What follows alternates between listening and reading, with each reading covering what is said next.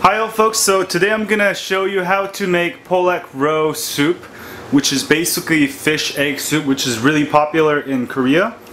So first we'll need some uh, pollock roe eggs which is this stuff right here.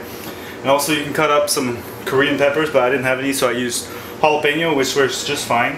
And some uh, chopped up garlic uh, and then we've got also some uh, tofu. If you like tofu you can add some tofu and also I've cut up some radish.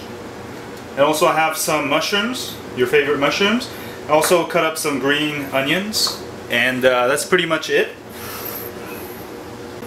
So what you want to do is put about 3 to 5 cups and uh, boil with some uh, seaweed or kelp.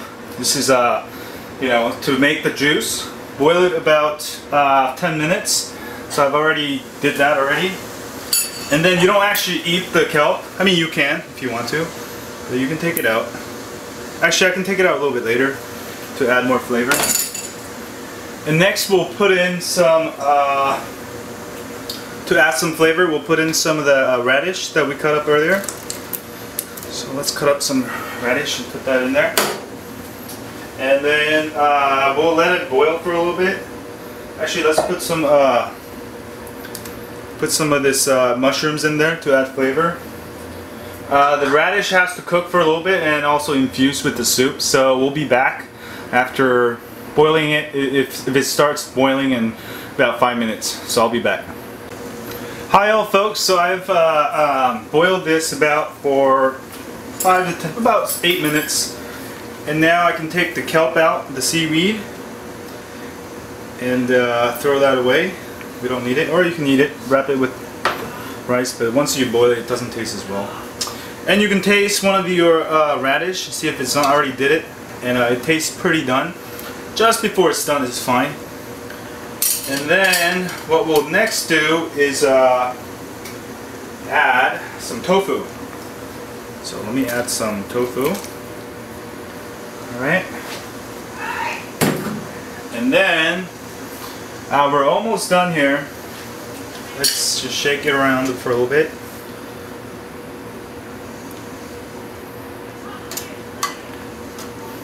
And then uh, what you want to do is actually put the uh, put the heat down to very low, and then we'll put the rest of the stuff because we don't want to, you know, uh, have a high temperature and it will ruin, you know, it, it won't ruin it, but it'll, just the eggs will be really hard the way we do it is we put the eggs in and then uh, just put it on, well not too low, let me bring it up a little bit actually.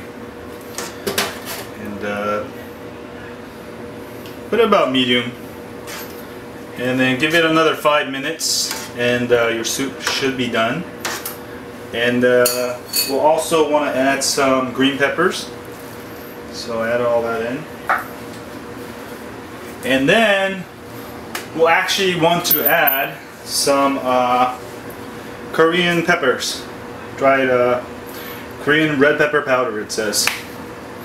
So put a bunch of that. If you don't like it super spicy, just put a little bit. But this pepper isn't super spicy, so I can put a lot of it in.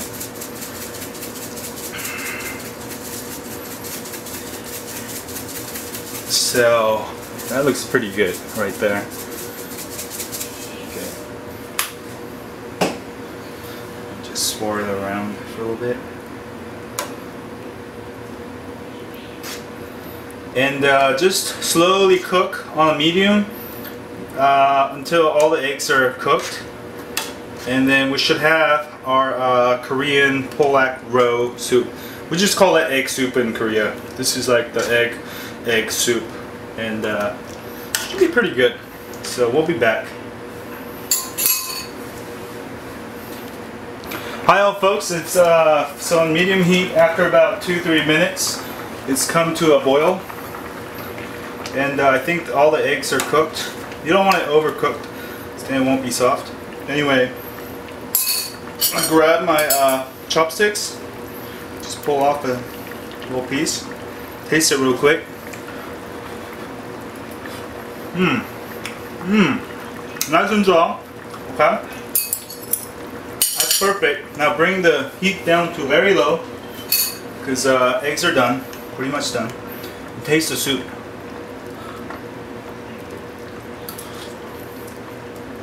It's a little bit, um, needs a little bit of salt, so I'm gonna put a little bit more salt, just a little bit.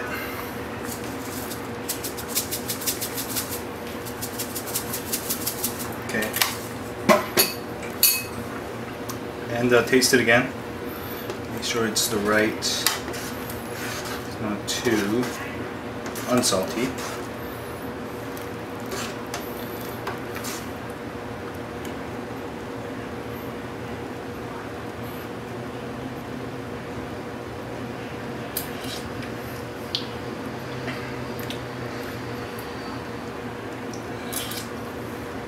And also they they have a Korean um, uh, shrimp uh, sauce you can get, which is actual shrimp. You put a little bit of it, and it's actually better.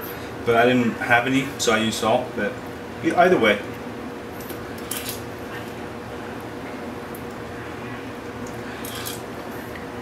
Hmm, that tastes just about right. A little bit salty. That's the way you want it. So that's done. So that's how you make Pollock roe. I kind of improvised because a lot of the uh, ingredients I don't have. But I hope you enjoyed and uh, subscribe to uh, travel-korea.net. And so I have all kind of Korean stuff. So see y'all later. Thanks. And make your own Pollock soup. And let me turn this off now. Oh yeah, one more thing. Don't forget to serve with rice. You're supposed to eat it with rice. So see y'all later. Enjoy it.